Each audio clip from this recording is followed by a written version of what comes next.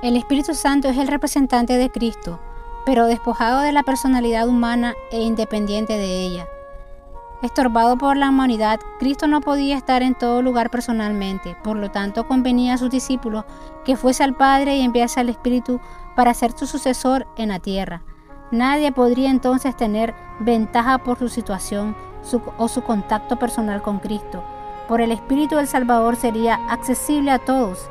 En este sentido estaría más cerca de ellos que si no se hubiese ascendido a lo alto.